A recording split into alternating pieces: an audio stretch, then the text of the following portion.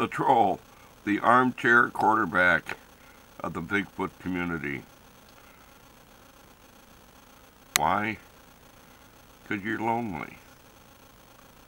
You have nothing else better to do. You're irritating. You think you're funny, but you're snot. Maybe some of your comments are funny. Nah, no they're not. Maybe you think you're funny. Not. Maybe you think you're smart. Not. You're an armchair quarterback.